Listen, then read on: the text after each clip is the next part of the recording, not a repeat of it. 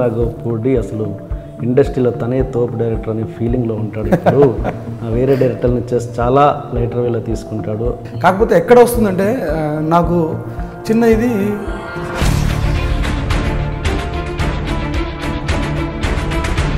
అంటే చాలామంది debate talk కొంతమంది అంటున్నారు. రకరకాలుగా వినబడుతుంది. ఏంటి అసలు ఎగ్జాక్ట్ స్టార్ట్ కన్సిడర్ ఏదైనా ఒక చిన్న ఎపిసోడ్ కొంచెం లాగ్ అనిపించదు అదేమి పాలలో వేసిన ఉప్పు కాదు. ఇది ఒక్కటే హైలైట్ చేయడానికి ట్రై చేశారేమో అనిపించింది. హండ్రెడ్ పర్సెంట్ ప్రతి ఒక్కరిని సాటిస్ఫై చేయడం ఇంపాసిబుల్ నేను ఇంటర్వ్యూ చేసే ప్రయత్నం కూడా ఇప్పుడు చేయలేదు యాక్చువల్గా సీరియస్గా మాట్లాడాలంటే. ఎందుకంటే ఇవి వినడం వల్ల రకరకాల. సరేలే వచ్చినప్పుడు వస్తుంది చూద్దాం అన్నట్టుగానే ఉన్నాను తప్ప. అంటే ఏంటంటే నేను విన్నది ఏంటంటే హను రాఘవ్ పూడికి యాటిట్యూడ్ ఎక్కువ హెడ్ వెయిట్ చాలా ఎక్కువగా. ఇది నాకు రెండు రెండు రకాల ఎక్స్ప్రెషన్ ఉందండి నాలో. ఈ క్వశ్చన్ ఎప్పుడు వచ్చినా నాకు రెండు రకాలు ఉంటుంది. అంటే నన్ను చాలా మంది అడిగారు.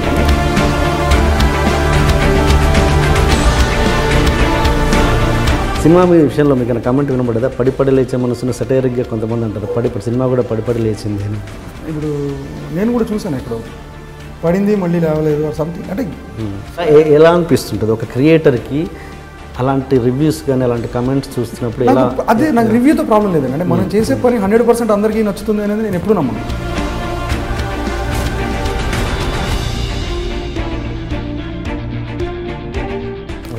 అంతేగాని అది ఒక ప్రాస అంటారో దాన్ని ఏమంటారు? అంటే ఇప్పుడు టైటిల్ అనేది ఫిల్మ్ అనే దానికి నాదనే కదా. నేను చాలా సినిమాలు రివ్యూస్ చూసినాను అలాగా. మనిషి బతుకు అనేది ఓకే. అది రాజ్యం అనేది ఒక స్థాయి. ఆ రాజు రాజ్యం లేకపోతే వేరేలా కూడా బతకగలడు. ఓకే. కానీ ఆ పక్కన రాణి లేకపోతే బతకలేను అని చెప్పాలంటే మీకు ఒక అలంకారం కావాలి అక్కడ. అంటే నేను ఏంటంటే ఆడియన్స్కి ఎక్స్ప్లెనేషన్ ఇచ్చే పరిస్థితి డైరెక్టర్కి ఉండకూడదు కదా. అండ్ హను రాఘవపూడికి క్వాలిటీ విజువల్ క్వాలిటీ ఇచ్చే ఇవ్వ ఇచ్చేంత గొప్ప పేరు ఎంత ఉందో బడ్జెట్ పెంచే పేరు కూడా అంతే ఇదిగా ఉంది మార్కెట్లో. అదే ఇలాంటివే నేను కొన్ని కరెక్ట్ చేసుకోవాలి బేసిక్గా దానివల్ల లేట్ అయిందంటే క్రైమ్ నన్ను అనొచ్చు. అంటే నా స్థాయికి నేను తీసుకునే లిబర్టీ కాదు అది. అది అది స్థాయి అది ఉండాలి. అంటే బడ్జెట్ పెరగడం అన్నది ప్లానింగ్ లేక అని కాదు చెక్కడం వల్ల. చెక్కటం కాదండి. చెక్కటం అంటే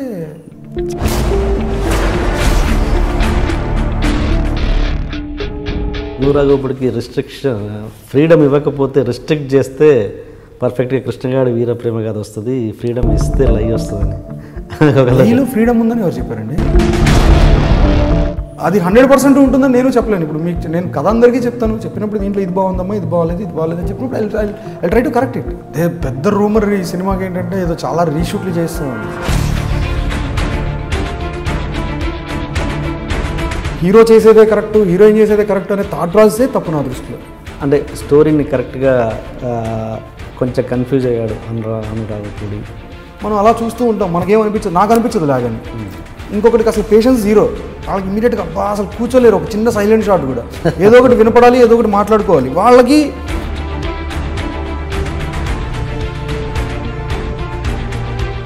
సునీల్ వల్ల ఈ సినిమాకి పెద్దగా యాడ్ అయిందని ఈ యాడ్ అయింది పెద్దగా ఏం లేదు నా ఫీలింగ్ అది.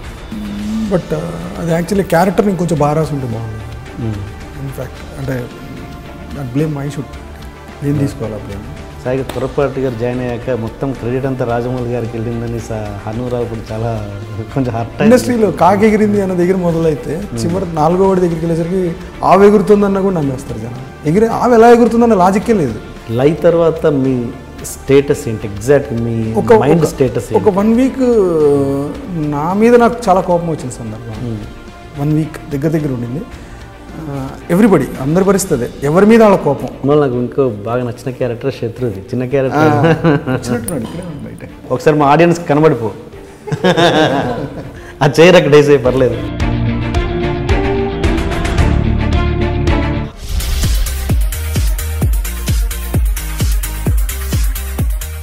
Hi welcome to my show and ఈరోజు మన ముందు ఈ మధ్యనే ట్వంటీ ఫస్ట్ రోజున రిలీజ్ అయిన పడి పడి లేచే డైరెక్టర్ హను రాఘవ్ పొడి గారు మనతో ఉన్నారు. చాలామంది అడుగుతున్నారు నన్ను ఆయన ఇంటర్వ్యూ ఎప్పుడు తీసుకుంటారు ఎప్పుడు తీసుకుంటారు అని. చాలా కామెంట్స్లో మెసేజ్లు వచ్చేవి బట్ ఈ- ఇన్నాళ్ళకి కుదిరింది నాకు. And welcome to my show sir my pleasure okay. అంటే యాక్చువల్లీ ఇంటర్వ్యూ నేను చాలా ఎమర్జెన్సీ ఇంటర్వ్యూ అయిపోయింది. ఇది నాకు ఇప్పుడు రాత్రి పది గంటలు అవుతుందండి. తను రేపు శబరిమల వెళ్ళాలి. మార్నింగ్ ఫ్లైట్కి అంత ఎమర్జెన్సీలో చేస్తున్న ఇంటర్వ్యూ. వీలైనంత క్రిస్ప్గా చేయడానికి ప్రయత్నం చేస్తాను. చాలా ఇన్ఫర్మేషన్ ఉంది బట్ తొందరగా వెళ్ళాలి కాబట్టి క్రిస్ప్గా ఫినిష్ చేసే ప్రయత్నం చేస్తాను. ఓకే అండి. ఇప్పుడు ఇది మీ ఏంటి మాల ఫస్ట్ టైమా లేకపోతే ఇంతకుముందు ఎప్పుడైనా వేసారా? సెవెంత్ టైం ఓ సెవెంత్ టైం ప్రతి సినిమాకి వేస్తారా? సినిమా కదా నేను డిగ్రీ చదువుతున్నప్పటి నుంచి చేసుకునేవాడిని ఎప్పుడు కుదిరితే అప్పుడు very often I okay okay. Cinema గురించి మా డిగ్రీ ఫస్ట్ ఇయర్ నుంచి అలవాటు. Oh very year? Okay. Okay. ఏ- ఏం చాలా గ్లామర్ కనబడుతున్నారు అను మిగతా ఎంట్రీ మిగతా ఎంట్రీలు ఉన్నారు కదా మరి. చాలా గ్లామర్ కనబడుతుంది అంటే నాకు ఏంటంటే సినిమా స్టార్ట్ ఇప్పుడు ఈ సినిమా ఎగ్జాక్ట్ పిక్చర్ ఏంటి? అంటే చాలామంది డిబేట్ టాక్ కొంతమంది అంటున్నారు. రకరకాలుగా వినబడుతుంది. ఏంటి అసలు ఎగ్జాక్ట్ స్టా స్టేటస్ ఇది పడి పడి లేచే మనసు. అంటే జనరల్గా ప్రతి సినిమాకి నేననే కదండి. ఎవరు తీసిన సినిమాకైనా సరే కొంతమందికి నచ్చుతుంది కొంతమందికి మీ ఫేస్ చూస్తే నాకు అలా అనిపించట్లేదు. బయట విన్న టాక్కి ఇక్కడ రివర్స్ ఉంది. అంటే బయట నేను విన్నట్టు అంటే ఇప్పుడు జస్ట్ నేను రీసెంట్గా టూ డేస్ నుంచి ఐఎమ్ రోమింగ్ థియేటర్స్ అండి. జస్ట్ వాంట్ నో అంటే వేరే అమ్మాయి అని. మ్, అంటే ఈ వర్చువల్ వరల్డ్లో నుంచి కాసేపు బయట జనాలు ఇప్పుడు virtual world in the sense like Twitter Facebook. ఈ సామా ఈ- ఈ మాధ్యమంలో కాకుండా బయట జనాలు అంటే టు మ్యాన్ వాళ్ళ రియాక్షన్ ఎలా ఉంటుందో చూద్దాం. జనరల్గా నేను ఎప్పుడు చేయలేదు పని నాకు ఇప్పుడు టైం దొరికింది లక్కీగా ఓకే సో నేను చాలా తిరిగాను అనమాట తిరిగేసరికి డెఫినెట్గా ప్రతి ఏ సినిమాలో అయినా సరే హండ్రెడ్ పర్సెంట్ నచ్చే అంశాలు ఉండవు. హండ్రెడ్ పర్సెంట్ ప్రతి ఒక్కరిని సాటిస్ఫై చేయడం ఇంపాసిబుల్ అది కుదరని పని. సో అలాగా ఇప్పుడు నేను రీసెంట్గా ఈ టూ డేస్ నుంచి నేను రియలైజ్ అయింది ఏంటంటే ఓకే నేను తీసిన సినిమా ఎవరి ఎవరి స్పేస్లో అయితే ఉందో వాళ్ళందరికీ మ్యాక్సిమం నచ్చింది. అంటే అలానే నేను పూర్తిగా అన్ని అంశాలు చాలా అద్భుతంగా ఉన్నాయని నేను చెప్పట్లేదు. ఉండొచ్చు. కొన్ని చిన్న చిన్న ఇష్యూస్ ఉండొచ్చు కథలో. అవి ఏంటంటే సీజీ కొంచెం ఇది అవటం లాస్ట్ మూమెంట్లో టైం లాగా అది అది ఓకే బట్ ఎనీ గివెన్ ఇది సీజీ ఫిలిం కాదు. ఓకే ఓకే అంటే గ్రాఫిక్స్ మీద డిపెండ్ అయిన ఫిలిం కాదు కాబట్టి దెన్ ఓకే అది కొంచెం క్షమించవచ్చు ఆ స్పేస్ మూడు క్యారీ అవుతే సరిపోద్ది. మూడు క్యారీ అవుతే సరిపోద్ది. అదే సరిపోతుంది అండ్ ఇంకోటి ఏంటంటే అండి ఇప్పుడు సంభవం నేను రియలైజ్ అయింది ఇన్ దిస్ హోల్ సెషన్ అందరికీ అటెన్షన్ డిజార్డర్ ఉంది కొంచెం. అంటే ఇదివరకు మనం సినిమా చూసిన రోజులు వేరేలాగా ఉండేవి. అంటే మనం థియేటర్కి వెళ్ళి కూర్చుంటే అక్కడ ఏం చెప్తున్నారో చూడడం అనేది మన ప్రాథమిక ధర్మం కింద ఫీల్ అయ్యేవాళ్ళం. అంటే ఆ కథ చూడటానికి అక్కడ ఆ- సినిమాకి మనకి మధ్యలో ఉండే కనెక్షన్ మధ్యలో డీవియేషన్ లేదు ఏది.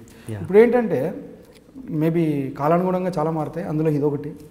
ఏంటంటే మనం చూసే టైంలో అక్కడ చెప్పేదానికంటే మన మన బ్రెయిన్ ఆలోచించడం ప్యారలల్గా జరుగుతుంది థాట్ ప్రాసెస్ ఎస్ అంటే ఇది ఇదైందంటే ఇదైంది ఇదైంది అంటే అక్కడ ఏం చెప్తున్నారు అనే ఒక అటెన్షన్ ఏదైతే ఉందో అది పోయింది. అంటే ఇప్పుడు ఎగ్జాంపుల్ ఎవరైనా ఒక స్పీచ్ ఇస్తున్నారు అనుకోండి. ఆ చెప్పే తను చెప్పే దాంట్లో ఉండే భావం అర్థం చేసుకోవడం కంటే దానికంటే కౌంటర్ ముందర వచ్చేస్తుంది మనిషి. మీకు అర్థమైంది? అంటే అటెన్షన్ లేదు ఎవరు అనలైజ్ చేయడం ఎనలైజేషన్ ఎక్కువైపోయింది. అంటే అది అది అది అబ్జర్వ్ చేశాను నేను మోర్ ఓవర్ అది కరెక్ట్ కాదేమో అని నా ఫీలింగ్ సో డెఫినెట్గా ఫస్ట్ నెగిటివ్లోకి వెళ్ళడం అనేది అలవాటు. అంటే ఎనలైజ్ చేయటం. అంటే మనం చాలా గొప్ప అవతల కంటే అనే భావన ప్రతి ఒక్కరికి ప్రతి సందర్భంలో ఉంది ఇప్పుడు. ఇప్పుడు చెప్పేవాడి కంటే వినేవాడు చాలా తెలియగలవాడు పరిస్థితి.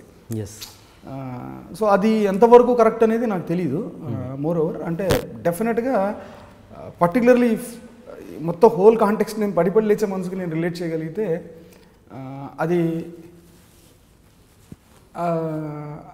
అది ఆ క్యారెక్టర్ల పర్స్పెక్టివ్లో వాళ్ళ వాళ్ళ మధ్యలో ఉండే కథని మనం చూస్తున్నాం.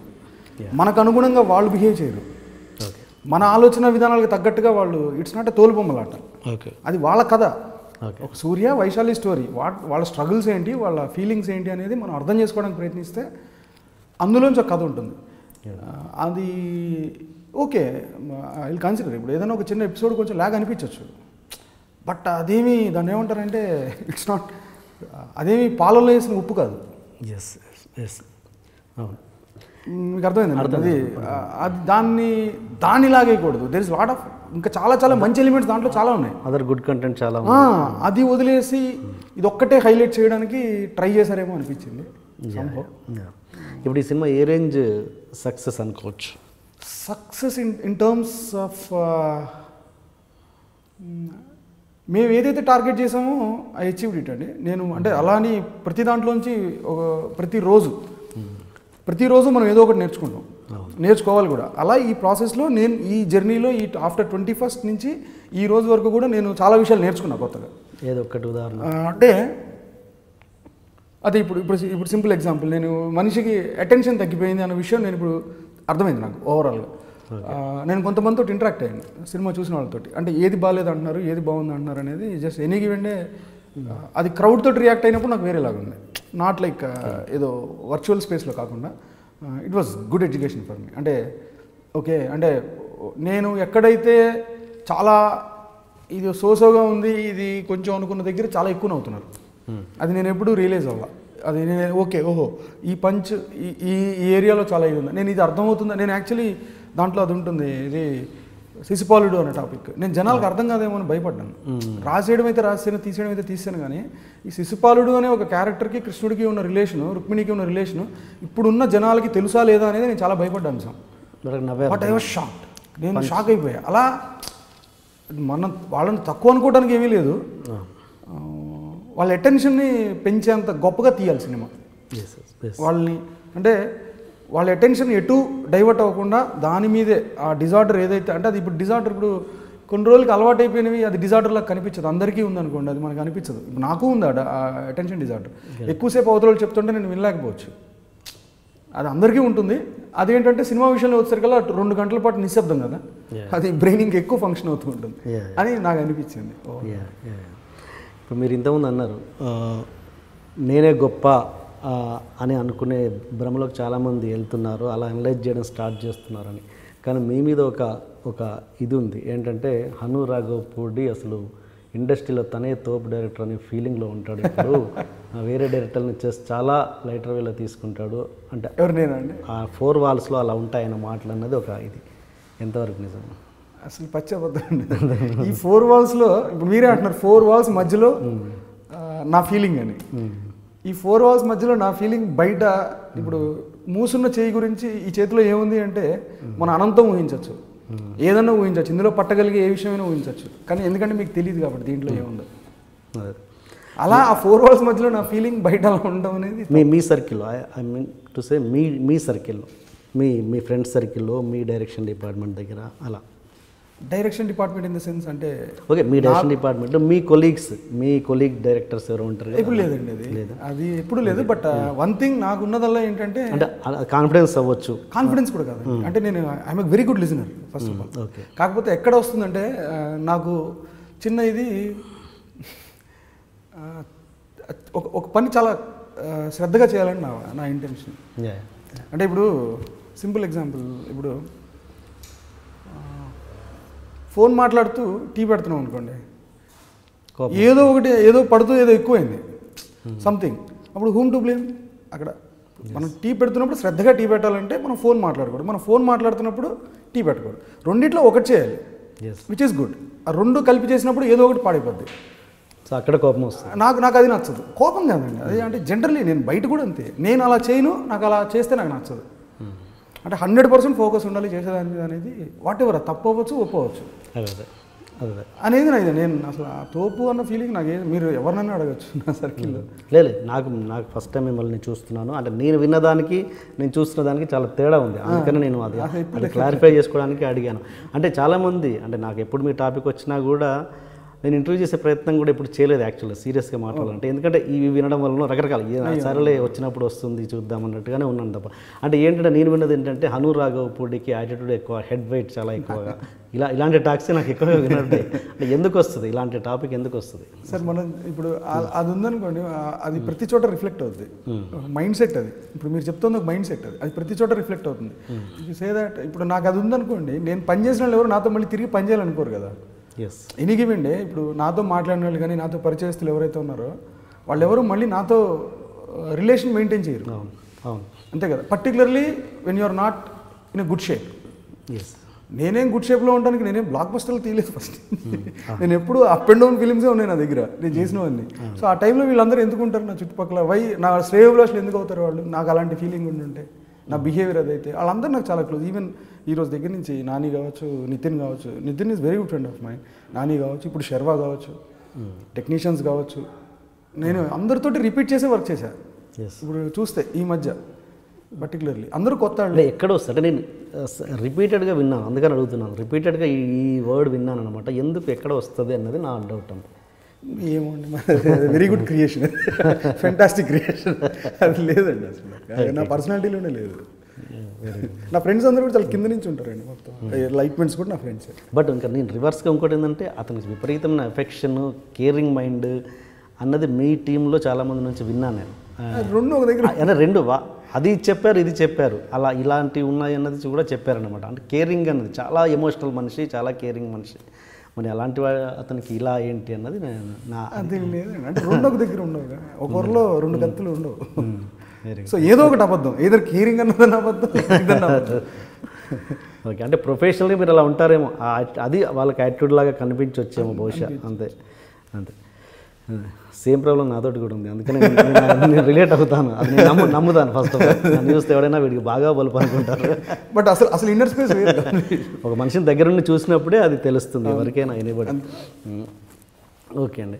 ఇప్పుడు మీ శ్రేయోభిలాషుల దగ్గర కూడా చాలామంది విన్నది ఏంటంటే ఆయన చాలా ఇంటెలిజెంట్ చాలా ఇంటలెక్చువల్ చాలా విషయం ఉన్న మనిషి బట్ అతను అనుకరణ అన్నది ఒకటి మానుకుంటే అతను గొప్ప సినిమాలు చేయగలడని అనుకరణ మీన్స్ ఇంక అనుకరణ అంటే మణిరత్నం గారిని కొంచెం ఫాలో అవుతారు అన్నది అది రెగ్యులర్గా వినపడేది అది ఈవెన్ మొన్న ఏదో శర్వా ఇంటర్వ్యూలో శర్వానంద్ కూడా తెలంగాణ ఆయన ఆంధ్ర తెలుగు మణిరత్నం అనేది అన్నారు.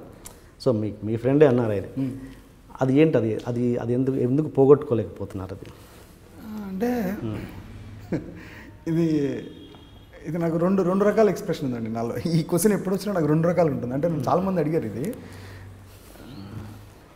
మణిరత్నం గారి శైలికి నా శైలికి అసలు actually technically there is no relation మీరు బయట నుంచి చూస్తే. అసలు ఎక్కడ ఏ రకమైన అనుకరణ అంటే ఇన్ వాట్ సెన్స్ అండ్ అందాల రాక్షసులో ఆ షౌట్ వల్ల అన్నది ఫస్ట్ అనుకున్నారు అంతా. బట్ అది యాక్చువల్లీ టెక్నికలీ ఒక ఎర్రర్ వల్ల జరిగిన పని అది. ఓకే. మేము సౌండ్ని ఒక డిలేతో రికార్డ్ చేసాము బట్ ఫైనల్ మూమెంట్లో అది ప్రాసెస్ అవ్వాల. ప్రాసెసింగ్ చేయడం కుదరలేదు. That will take lot of time అనమాట అది అవ్వలేదు లాస్ట్ మూమెంట్లో సో దాన్ని పాప మధుసూదన్ గారు లేట్ మధుసూదన్ గారు ఈ ట్రై టు మ్యాచ్ సంహో బట్ అది మిస్ఫైర్ అయిపోయింది కంప్లీట్గా అది అలా జరిగింది తప్పించి మిగతాది మీరు ఏది చూసినా అంటే ఇన్ సెన్స్ అంటే ఏది అంటే అంటే అది గొప్ప కంపారిజనే బట్ మంచి కంపారిజనే బట్ అది అంటే ఇట్స్ గుడ్ అంటే ఇది కూడా ఈ సినిమా చూస్తున్నప్పుడు కూడా నేను ఫస్ట్ హాఫ్ వరకు చూసి చాలా చాలా అంటే చాలా ఎక్స్ట్రాడినరీ ఫీల్ అయ్యాను ఎగ్జైట్ అయ్యాను. అండ్ ఈవెన్ ఆ మేకింగ్ స్టైల్లో నాకు నాకు అనిపించింది. అంటే మణరత్నం గారి సినిమా లాగా ఉంది చాలా రోజుల తర్వాత. మణరత్నం గారు కూడా తీయలేని సినిమా ఈయన మళ్ళీ మణరత్నం సినిమా చూపించారు అనే ఫీల్ అయితే నేను ఫీల్ అయ్యాను. ఏది పడిపడి లేచే వయసు ఫస్ట్ హాఫ్ వరకు. సెకండ్ హాఫ్లో చిన్న చిన్న కన్ఫ్యూజన్స్ ఉన్నాయి అది వేరు. అది అది నాకు వచ్చింది అని చెప్తున్నాను ఒక ప్రేక్షకుడిగా ఆ, అది అది. ట్రై అండి. ఎంత స్ట్రాంగ్ అనిపిస్తుందంటే ఎక్కడో సంవేర్ అది ఉన్నట్టే బట్ యా దట్స్ అంటే మణరత్నం గారి సినిమా మణరత్నం గారే మళ్ళీ చూపించలేకపోతున్నారు ఫ్రాంక్గా మాట్లాడాలంటే. అది మీరు మళ్ళీ ఈ సినిమాలో నాకు కనబడింది అని చెప్తున్నాను. అదే అదే. అంటే ఒక రకంగా బాగానే ఉంటుందండి. బట్ అది అంత రిపీటెడ్గా రాకూడదు. I have to change it is coming cinema మీ విషయంలో మీకు కమెంట్ వినబడదా? పడి పడి లేచే మనసును సెటైరిక్గా కొంతమంది అంటారు. పడి పడి సినిమా కూడా పడి పడి లేచింది అని. అది జనాలు కొంతమంది అన్నారండి. I'm very happy for that ఇప్పుడు జనాలు ఎవరైనా అన్నారంటే వీ కెన్ ఇప్పుడు దాన్ని ప్రాసలాగా వాడుతున్నారు జనాలు. రివ్యూస్ కానీ ఇవి కానీ. అంటే దట్స్ నాట్ రైట్ అని నా ఫీలింగ్ అంటే ఇప్పుడు దెర్ ఇస్ ఎ లాంగ్వేజ్ ఇప్పుడు ఒక రివ్యూ అనేది విశ్లేషణాత్మకంగా ఉండాలి. ఎవరైనా చెప్తే మనం నేర్చుకునేలాగా ఉండాలి. ఇప్పుడు మీరు ఏదైనా మాట్లాడుతుంటే మీరు "ఏయ్, ఇది బాగాలేదు ఇప్పుడు మీరు అన్నారు ఇప్పుడు "ఏ, బాబు మండత్నం లాగా ఉంది నీ వర్క్. అలా రిపీటెడ్గా ఉండకుండా ఏమైనా కొంచెం ఓన్ సిగ్నేచర్తో ట్రై చేస్తే ఇంకా మంచి సినిమాలు తీయగలవు అనేది ఒక సజెషన్. అది ఎవరు చెప్పినా మనం యాక్సెప్ట్ చేయగలిగేది. ఇప్పుడు నేను కూడా చూశాను ఎక్కడో. పడింది మళ్ళీ లేవలేదు ఆర్ సంథింగ్ అంటే అంటే ఏమో మరి ఎలా ఎలా అనిపిస్తుంటుంది? ఒక క్రియేటర్కి అలాంటి రివ్యూస్ కానీ అలాంటి కమెంట్స్ చూస్తున్నప్పుడు అదే నాకు రివ్యూతో ప్రాబ్లం లేదండి. అంటే మనం చేసే పని హండ్రెడ్ పర్సెంట్ అందరికీ నచ్చుతుంది అనేది నేను ఎప్పుడు నమ్మను. నేను ఎప్పుడు అలా అలా చేయటం అనేది బ్రహ్మదేవుడి వల్ల కూడా కాదు. అది ఎవరు చేయలేరు. ఇప్పుడు రాజకుమారి రాణి గారి సినిమాలో కూడా కొన్ని పాయింట్స్ గురించి మాట్లాడతారు. సంభవ్. ఎవరో ఒకళ్ళు. అది వాళ్ళ అంతకంటే ఇంటెలెక్చువల్ ఎవరైనా ఉంటే మాట్లాడతారేమో. ఇప్పుడు నేను తీసిన సినిమా కంటే చాలా ఇంటెలెక్చువల్ థాట్ ప్రాసెస్ ఉన్న వాళ్ళకి అది నచ్చపోవచ్చు. వాళ్ళు చెప్పొచ్చు. సో ఓకే నేను అక్కడికి రీచ్ అవ్వట్లేదు అనుకోవడం అనేది జనరలీ మనం ఎదుగుతున్న టైంలో మనం ఉండాల్సిన ప్రాసెస్ అది. ప్రతి ఒక్కటి నేర్చుకుంటూ వెళ్ళాలి. ఓకే దాన్ని రివ్యూయింగ్ అంటాం కదా. ఏదైనా సరే ఒక ప్రోడక్ట్ రివ్యూయింగ్ ఉంటుంది ఇంకోటి ఉంటుంది. ప్రతి ఒక్కటి ఉంటుంది. తప్పేం కాదు అది. హండ్రెడ్ పర్సెంట్ తప్పు కాదు. సో ఈవెన్ మీరు రాసిన దాంట్లో నాకు ఏమన్నా ఏం ఓకే ఇది నేను చేంజ్ చేసుకోవాలి ఇది కరెక్ట్ కాదు. ఓకే కరెక్టే ఇది నేను చేసిన తప్పే. ఇది ఇలా చేయకూడదు ఇంకోసారి అనేది నన్ను నేను కరెక్ట్ చేసుకునేలాగా ఉందంటే దెన్ ఫైన్ అంతేగాని అది ఒక ప్రాస అంటారా దాన్ని ఏమంటారు? అంటే ఇప్పుడు టైటిల్ అనేది ఫిల్మ్ అనే దానికి నాదనే కదా. నేను చాలా సినిమాలు రివ్యూస్ చూసాను అలాగా. దానికి ఏదో కౌంటర్ ఇస్తారా దాని మీద కౌంటర్ ఏంటి? అది ఇట్స్ నాట్ గుడ్ అది హెల్దీయే కాదు అసలు. అంటే అక్కడే థాట్ ప్రాసెస్ కరెక్ట్ కాదని నా ఫీలింగ్ అది. ఐఎమ్ వెరీ హ్యాపీ అస్సలు ప్రాబ్లమే లేదు నాకు నెగిటివిటీ తీసుకోవటం. నేనేం అంత గొప్ప సినిమాలు ఏం తీసేలేదు ఫస్ట్ నుంచి. ఓ లైమ్ లైట్లో ఉన్న డైరెక్టర్ నేను కదా ఇంకా ఎదుగుతున్నాను నేను I'm ready to accept anything ఏదో ఒక రోజు అందరికీ నచ్చే సినిమా తీయటమే నా ప్రయత్నం. అంతే కదా? దాంట్లో నేను ఎదగటం కోసం నేను ఏదైనా నేర్చుకోవడానికి రెడీగా ఉన్నాను. అంతేగాని బట్ అది నాకు ఎందుకు నాకు పర్సనల్గా అనిపించింది బట్ జనాలకు బాగుండొచ్చాము I don't know okay okay and okay cinema విషయానికి వస్తే లోపల మామూలు ఒక డైలాగ్ విన్నాను. ఉంది దాంట్లో. ఏంటి? యుద్ధం ఓడిపోతే రాజ్యం మహా అంటే పోయేది మహా అంటే రాజ్యం. కానీ వైశాలి రాకపోతే నేను కోల్పోయేది జీవితం. వైశాలు రాకపోతే కోల్పోయేది జీవితం. అలా వచ్చే ఊహ కూడా నా ప్రాణం ఎగరేసుకుపోతుంది. అంటే మీ ఉద్దేశం ఏంటంటే రాజ్యం కంటే వ్యక్తి జీవితం గొప్పదనా? ఆ పర్టికులర్ పర్స్పెక్టివ్లో యుద్ధంలో ఓడిపోతే పోయేది రాజ్యం ఇట్స్ ఫిజికాలిటీ అంటే అంతస్తు పోయేది రాజ్యమే. అంటే రాజ్యమే అన్నది ఆఫ్టర్ ఆల్ అన్నట్టుగా అంతే కదా. ఎలా ఎలా? యుద్ధాల్లో ఓడిపోతే పోయేది రాజ్యాలేమో మహా అయితే. మహా అయితే ఎలా అంటే? అంటే నాకు అర్థం కాక అడుగుతున్నాను అంటే యుద్ధంలో ఓడిపోతే పోయేది రాజ్యమే. కానీ వైశాలి రాకపోతే నేను కోల్పోయేది నా జీవితం. Life is bigger than anything కదా. మనిషి బతుకు అనేది ఓకే. అది రాజ్యం అనేది ఒక స్థాయి. ఆ రాజు రాజ్యం లేకపోతే వేరేలా కూడా బతకగలడు. ఓకే. కానీ ఆ పక్కన రాణి లేకపోతే బతకలేను అని చెప్పాలంటే మీకు ఒక అలంకారం కావాలి అక్కడ. అంటే నాకు అన్నిటికంటే చాలా ఎక్కువ వైశాలి అని చెప్పాలంటే ఒక అలంకారం కూడా. ఎక్కువ అని చెప్పడం అక్కడ అక్కడ ఉపమాలంకారం లాగా నేను అది వాడాను. అంటే మామూలుగా యుద్ధాల్లో ఓడిపోతే పోయేది రాజ్యాలేమో. బట్ వైశాలి రాకపోతే ఈ రోజు నేను కోల్పోయే జీవితం. అలా వచ్చే ఊహ కూడా నా ప్రాణం ఎగరేసుకుపోతాను అంటే అలాంటి ఆలోచన కూడా మనం బతకనివ్వట్లేదు. Okay okay. రాదు అనే ఆలోచన. ఇన్ దట్ చిన్న ఎగ్జాగరేషన్ అంత. ఎగ్జాజరేటెడ్ కంటే మోర్ ఓవర్ అలంకారం అండి. అంటే. రాముడు మొహం చంద్రబింబంలో ఉంది అన్నట్టుగా ఇప్పుడు వైశాలి ఇంపార్టెన్స్ వైశాలి రేపు తను రావడం అనే దాని ఇంపార్టెన్స్ ఏంటి అని చెప్పడానికి నేను వాడిన అలంకారం. Okay okay. మీరు మామూలుగా మీరే రాసుకుంటారు కదా డైలాగ్స్ అంటే. మీ మీ టీం ఏమైనా హెల్ప్ చేస్తారా దాంట్లో డైలాగ్స్ కొన్ని కొన్ని అండి అంటే నేను ఇప్పుడు ఒక సీన్ ఉందంటే అసిస్టెంట్ డైరెక్టర్ రాస్తాడు కొన్ని. నేను ఇస్తాను మామూలుగా నేను అసిస్టెంట్ డైరెక్టర్ ఆయన దాంట్లో ఒక డైలాగ్ బాగుంటుంది. అది తీస్తాను. అలా. మీరు మామూలుగా లిరి లిరిక్ రైటర్ అవుదామని కదా వచ్చింది. వచ్చి మరి ఇప్పుడు మీ సినిమాలకి ఉన్న పాటలు రాసుకుంటారు నేనేం రాయలేదండి. ఎందుకు మరి ఆ కోరికను ఎందుకు చంపుకున్నారు చంపుకోవడం అంటే నేను వచ్చింది ఆ పర్పస్ బట్ తర్వాత నేను I turn in to direction కేకేకి మొత్తం ఇచ్చేస్తున్నట్టు single card single card? Okay first నుంచి అతనితో ట్రావెల్ అవుతుంది కేకే. వెరీ గుడ్ ఫ్రెండ్ చాలా మంచి లిరిసిస్ట్ ఓకే ఓకే నాకు ఫ్రెండ్ అయితే? ఈ మధ్య వెరీ హ్యాపీ ఫర్ యూ చాలా ఫేమస్ ఎస్ ఎస్ అవును చాలా వినబడుతున్నాయి అతని పాటలు సక్సెస్ వరుసగా సక్సెస్లు వస్తున్నాయి. ఓకే అండి. అండ్ ఇంకొకటి దీంట్లో మదర్ క్యారెక్టర్ తన హీరో మదర్ క్యారెక్టర్గా ప్రియారామన్న తీసుకొచ్చారు చాలా రోజుల తర్వాత. అది ఎవరు ఎవరి ఐడియా అది? ప్రియారామన్ సంభవ్ నేను అంటే ఇప్పుడు దాకా చేయని మదర్ రోల్ ఎవరున్నారా అని వెతుకుతున్న టైం సంభవ్ ఎవరు అసిస్టెంట్ డైరెక్టర్ ఎవరు సజెస్ట్ చేసినారు. సతీష్ సజెస్ట్ సతీష్ కదా సారీ ఎవరు సజెస్ట్ చేశారు ఇది? Srinu. Direction department direction department suggest చేశారు. కొన్ని ప్రొఫైల్స్ తీసుకొచ్చారు ఎప్పుడు దాకా అంటే మామూలుగా ఈ మధ్య కాలంలో రెగ్యులర్గా స్టార్ట్ అయింది ఏంటంటే మదర్ క్యారెక్టర్లు కానీ అత్త క్యారెక్టర్లు కానీ అంటే ఆ త్రివిక్రమ్ గారి సినిమా దగ్గర నుంచి స్టార్ట్ అయింది. ఐ థింక్ అత్తారింటికి దారి నదియా గారి దగ్గర ఒక ఫ్రెష్నెస్ అన్నది ఒక ఫ్రెష్గా ఉన్న పాత హీరోని తీసుకొచ్చి అమ్మగానో అత్తగానో పెట్టడం అన్నది. బట్ ఓకే వాళ్ళు ఒక రెండు సినిమాలు చూసిన తర్వాత మళ్ళీ కనబడుతున్నారంటే కనబడట్లేదు. ఎవరు ఎవరినైనా తీసుకోండి. నదియా దగ్గర నుంచి ఎవరు కనబడట్లేదు. అంటే ఏంటంటే మీరు టాలెంట్ కంటే కూడా ఒక ఫ్రెష్నెస్నే తీసుకుంటున్నారు. ఫ్రెష్నెస్ కావాలనుకుంటున్నారు తప్ప టాలెంట్ కంటిన్యూ అవ్వాలని ఏ డైరెక్టర్ చూడట్లేదేమో అనిపిస్తుంది. అంటే ఈవెన్ ఆ thought thought itself routine అయిపోయిందేమో అనిపిస్తుంది. అంటే ఒక పాత హీరోని తీసుకొచ్చి మదర్గానో అత్తగానో పెట్టడం అన్న థాటే రొటీన్ అయిపోయింది అన్నది మీకు ఎందుకు అనిపించట్లేదు? అంటే దీంట్లో యాక్చువల్గా మదర్ది చాలా పెద్ద రోల్ అండి. ఫైనల్గా ఉన్న స్పేస్లో చాలా సీన్స్ వెళ్ళిపోయినాయి. ఆవిడ షీడ్ ఫెంటాస్టిక్ జాబ్ మంచి యాక్ట్రెస్ కావాలి దానికి. అండ్ ఎందుకంటే ఫ్లాష్ బ్యాక్ స్టోరీ ఉండింది. అవును. ఇంకా రెండు మూడు సీన్స్ కూడా ఉండాలి. But we didn't shoot it తర్వాత. ఓకే అంటే కథకి ఆల్రెడీ ఉన్న లెంత్లో సరిపోతుంది దానికి అన్నదానికి వదిలేసాం. బట్ అదైతే డెఫినెట్గా కాదేమోనండి. అంటే అది అంటే ఉన్నాళ్ళే ఉండాలి పాత హీరోలు రావాలి కావాలని వెతుకు వెతికి తెచ్చుకోవడం అయితే వాస్తవం అందరూ. అదైతే కరెక్ట్. అది పాత హీరోలు ఎవరెవరు ఉన్నారా ఇంకా ఇంకా. వస్తున్నారు రెండు సినిమాలతో అది వాళ్ళ వాళ్ళ అండ్ ముఖ్యంగా తన ఫాదర్ క్యారెక్టర్ చేసిన నాకు ఇంత ఫెంటాస్టిక్ అనిపించేది. ఈ సినిమా ఆయన పేరు నాకు ఎప్పుడు గుర్తుండదు. పేరు సంపత్ సంపత్ గారు సంపత్ గారు. చాలా బాగా చేస్తారు చాలా బాగుంది క్యారెక్టర్ చాలా బాగా చేశారు ఇప్పుడు ఓకే అండి. అండ్ హను రాఘవపూడికి క్వాలిటీ విజువల్ క్వాలిటీ ఇచ్చే ఇవ్వ ఇచ్చేంత గొప్ప పేరు ఎంత ఉందో బడ్జెట్ పెంచే పేరు కూడా అంతే ఇదిగా ఉంది మార్కెట్లో. ఏంటి ఎక్కడ తేడా కొడుతుంది? ఆయన బడ్జెట్ ఖచ్చితంగా అన్నదానికి డబల్ మరీ డబల్ కాకపోయినా కొంత ఎక్కువ అవుతుంది. అంటే దీనికి పది కోట్ల వరకు ఎక్కువైందని నేను విన్నది. అది ఎంతవరకు నిజం? కాదండి అంత ఎక్కువ లేదు.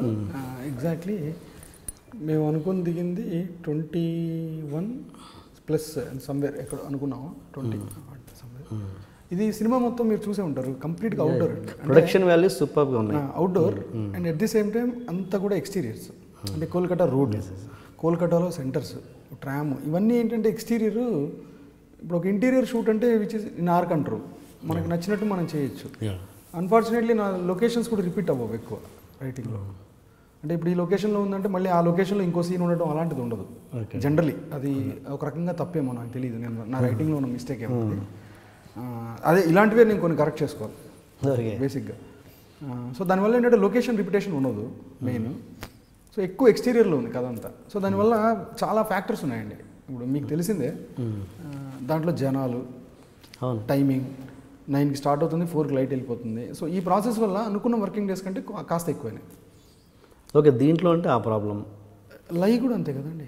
లైక్ కూడా అలాంటిది కేవీపీజీ we shot in six crores the whole film including everything which is village story okay okay. అది మొత్తం సినిమా అంతా కలిపి సిక్స్ క్రోర్స్ అయింది budget first up to first copy ఎలాంటి జాగ్రత్తలు తీసుకున్నారు అక్కడ? ఎలాంటి అంటే కలకట్టాలో స్ట్రీట్స్లో చేసేటప్పుడు ఎట్లా ఎట్లా మేనేజ్ చేశారు అది? అది చాలా టఫ్ అయిందండి అంటే ఎట్లా ఎట్లా ఏం ఎలా చేశారు?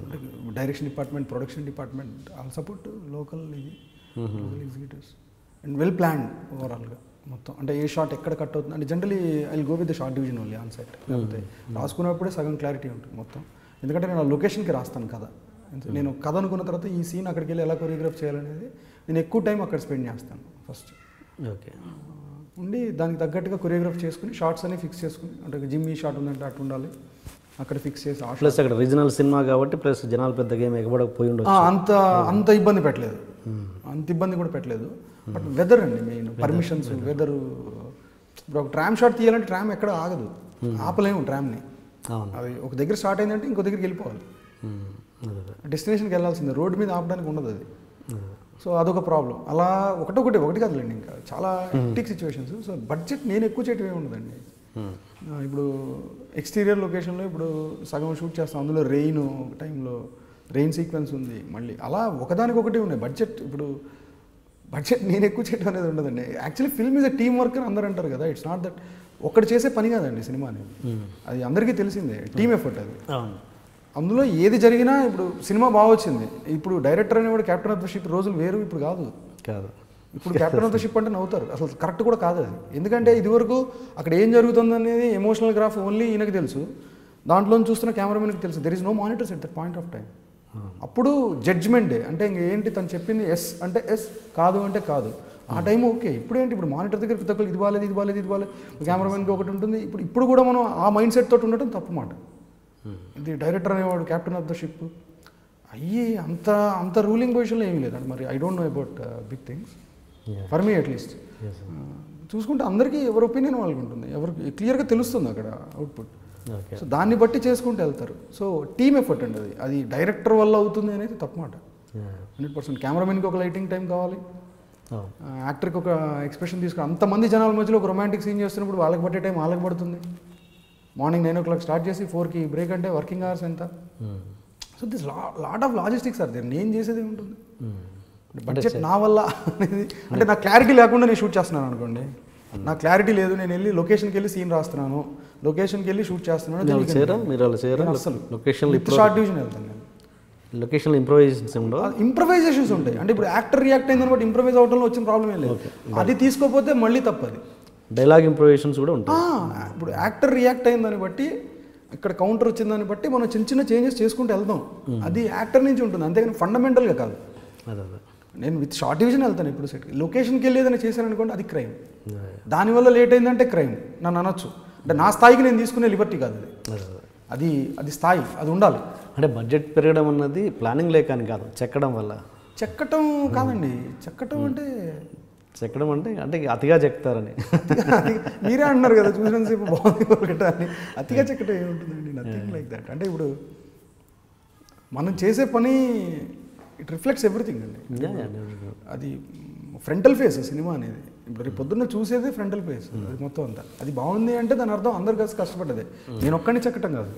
ఆ డైరెక్టర్ తన పని తను చేయాలి ఎక్స్ప్రెషన్ వాళ్ళది వాళ్ళు కరెక్ట్ చేయాలి అన్నీ అందరు కరెక్టే ఓకే అనుకుంటే అది కరెక్ట్ ఆయనకు అనురాగోపుడికి రిస్ట్రిక్షన్ ఫ్రీడమ్ ఇవ్వకపోతే రిస్ట్రిక్ట్ చేస్తే పర్ఫెక్ట్గా కృష్ణగాడి వీర ప్రేమ కథ వస్తుంది ఫ్రీడమ్ ఇస్తే లై వస్తుందని.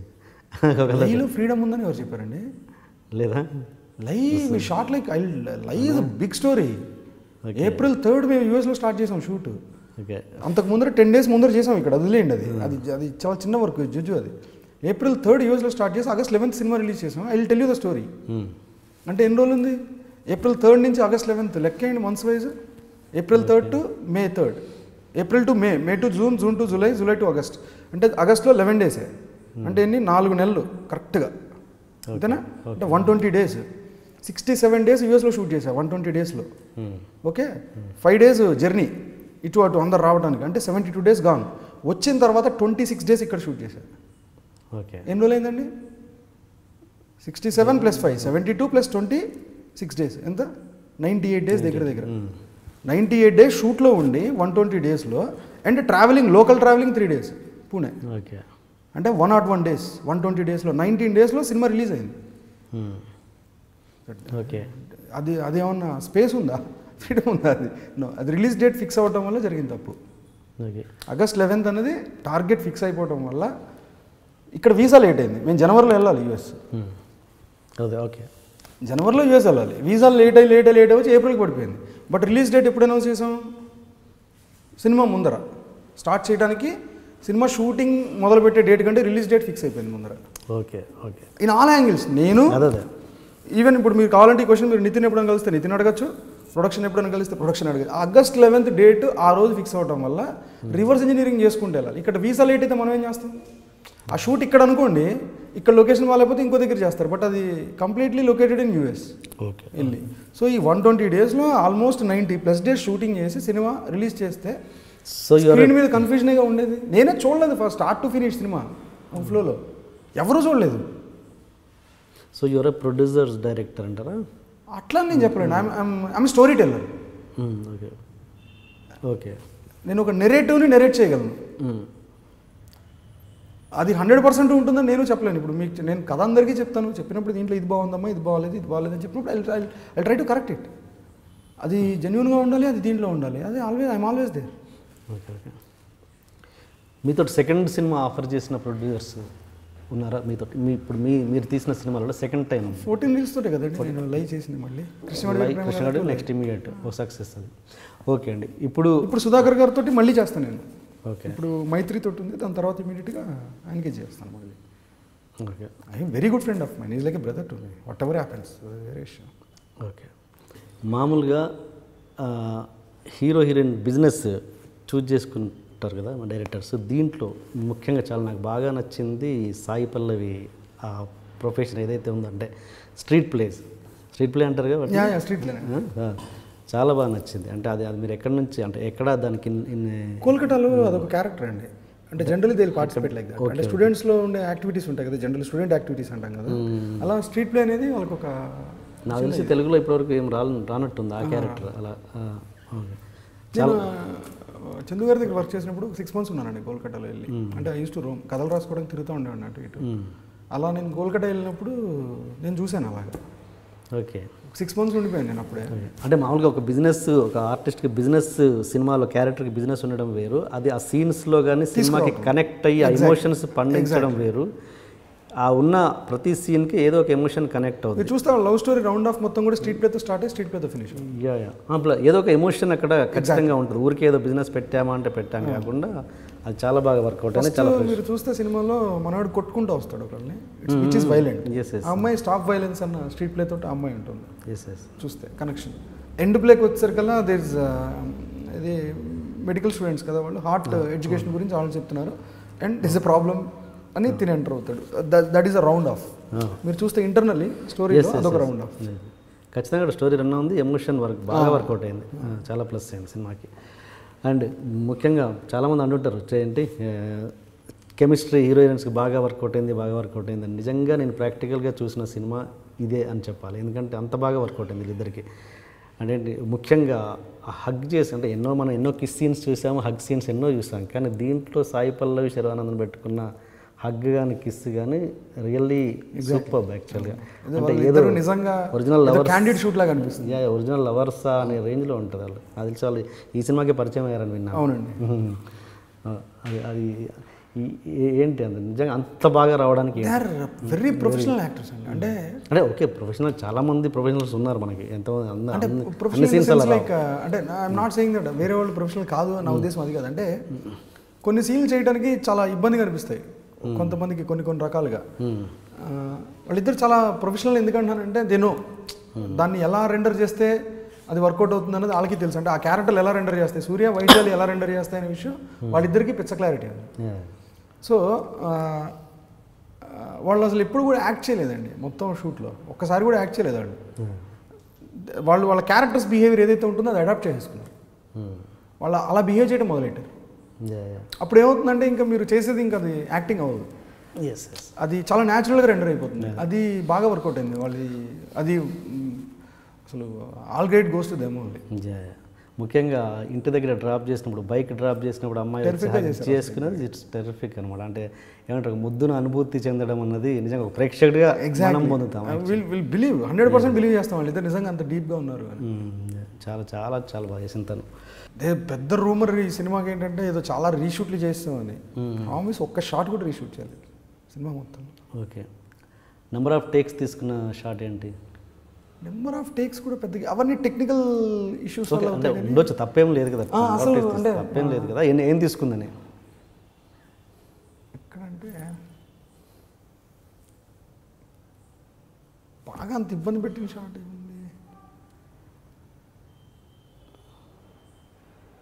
అంటే చాలా జోవియల్గా అయిందేనండి. ఆ సెకండ్ కాఫీ హౌస్ సీన్లో కొంచెం ఇట్ టుక్ టైం ఎందుకంటే అమ్మాయి బాగా నవ్వటం మేకింగ్ వీడియోలో కూడా ఉంటుంది. అది దగ్గర దగ్గర ఒక అరగంట షూట్ ఆపేయాల్సి వచ్చింది. అమ్మాయి నవ్వటం మొదలెట్టిందంటే ఇంకా అసలు కంట్రోల్ చేయలేదు. తను ఏంటి మామూలుగా మేకప్ హెవీగా వేసుకోదా? లేకపోతే అవి కావ అవి తెలిసేటట్టు కావాలని ఉంచా న్యాచురల్గా ఉంచాలని ఉంచుద్దా? తను ఆ రెడ్ డిష్ అది? అమ్మాయి పెద్ద మేకప్? యూజ్ చేయదు. బట్ ఈ సినిమాలో మీకు అది ఏం లేదే. ఉంటుంది. ఏదో ఒకటి రెండు చోట్ల అంటే అమ్మాయి సన్ బర్న్ ఎక్కువ వస్తే రెడ్ అవుతుంది బట్ ఈ సినిమాలో almost she looks beautiful in this అలా అలా ఉండడమే అది అక్సెప్ట్ చేస్తారు. వాళ్ళు తను కావాలనే ఉంచుకుంటారు అలా అంతేనండి. చాలా న్యాచురల్గా ఉండడానికి ట్రై చేస్తుంది అసలు. తెచ్చి పెట్టుకున్న అందం అన్న అమ్మాయికి ఇష్టం ఉండదు తెచ్చి పెట్టుకున్న పర్ఫార్మెన్స్ అన్న ఇష్టం ఉండదు. ఉమ్. అమ్మాయిని అసలు అది మామూలుగా ఒక మూడు మాస్టర్ బ్రెయిన్స్ కలిస్తే లేనిపోని ఈగోస్ లేనిపోని వర్క్ క్లాషెస్ వస్తుంటాయి. ఇక్కడ ఎలాంటి నాకంటూ ఇగో లేదు. అది అందరూ ఆపాదించుకున్నది. అనురాగపూడి అంటే ఆపాదించుకున్నది. బట్ అనురాగపూడికి అది లేనే లేదు అసలు ఫస్ట్ Okay. మీరు అన్న అనురాగపూడి అనురాగపూడి అని దాని అసలు ఐఎమ్ అంటే నాకు. అసలు అది జీరో స్పేస్లో ఉంది అది. ఇంకోటి ఏంటంటే నేను ఫస్ట్ అవతలాల మాటకి విలువ ఇస్తాను తర్వాత నా ఆలోచన ఏంటో చెప్తాను. ఇది నా నేచర్ ఫస్ట్ ప్రిడామినెంట్గా అది నేను కనిపించవచ్చు కానీ బయటికి నా థాట్ ప్రాసెస్ అయితే అదే. సో నాకు ఎప్పుడు ఆ ప్రాబ్లం లేదు. వాళ్ళిద్దరితోటి కానీ ఎవరితోటి నాకు లేదు అసలు. మీకు లేకపోయినా వాళ్ళ ఒక ముగ్గురు మూడు మైండ్స్ వాళ్ళు కూడా అండి. అంటే ఇప్పుడు ఈక్వల్ మైండెడ్ అంటారు కదా లైక్ మైండెడ్ పీపుల్ అంతే. వాళ్ళు చేసే దాంట్లో అది పర్ఫెక్ట్ నేను ఒక్కొక్కసారి నేను తీసేసి ఓకే అనుకున్న టేక్ కూడా మామూలుగా హెడ్ ఫోన్స్ పెట్టుకుంటాం కదా మానిటర్ దగ్గర.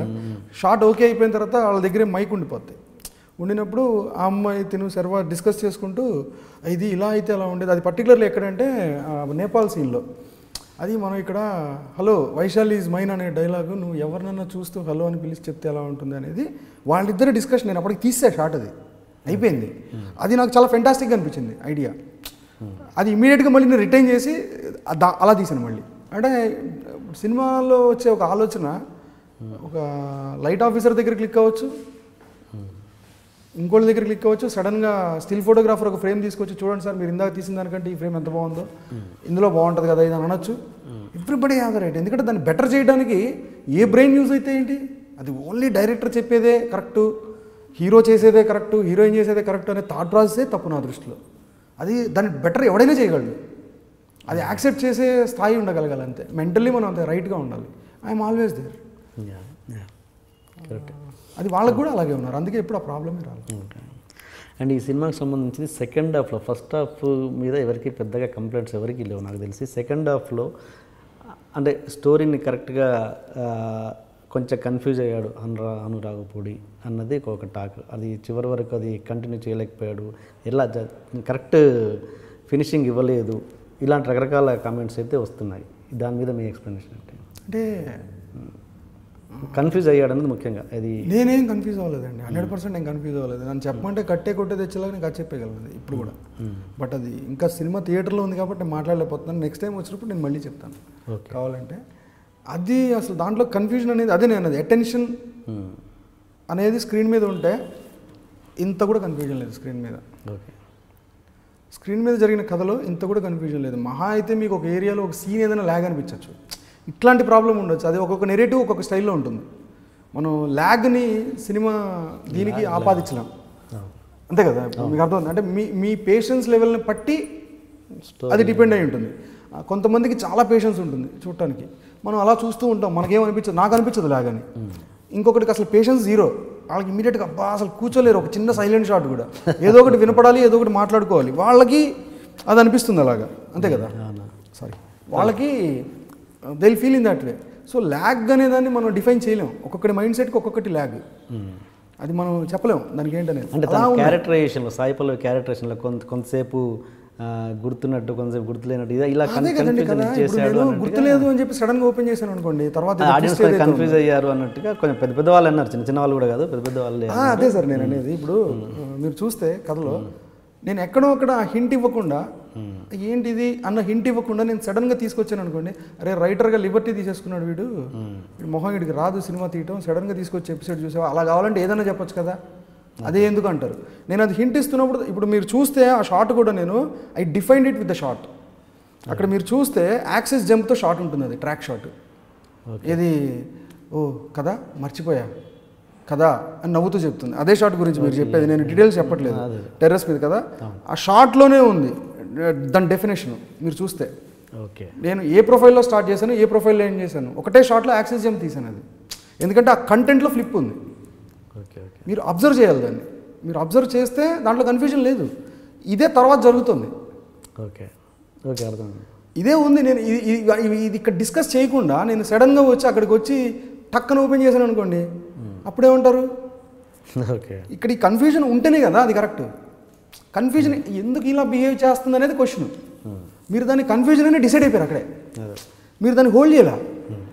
At least there is a clarity ఆ తర్వాత వచ్చినప్పుడు ఓహో ఎందుకా ఇలా బిహేవ్ చేసింది? అది నిజమేనా? అన్న ఒక అట్లీస్ట్ ఒక రికలెక్టింగ్ వాల్యూ ఉంది కదా. అంటే అదే అదే అర్థం. అంటే నేను ఏంటంటే ఆడియన్స్కి ఎక్స్ప్లెనేషన్ ఇచ్చే పరిస్థితి డైరెక్టర్కి ఉండకూడదు కదా.